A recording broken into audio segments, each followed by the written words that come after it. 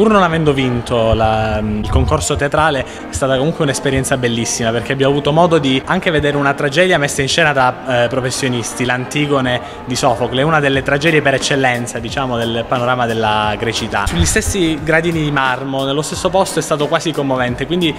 pur non avendo portato un successo diciamo, a casa dal punto di vista agonistico, se così si può dire, noi lo consideriamo un nostro personale successo perché siamo riusciti a portare qualcosa di fatto qui, siamo riusciti a farla vedere anche ad altre persone che non vivono nel nostro stesso ambiente. Abbiamo fatto il possibile per tirare fuori quello che c'è, de-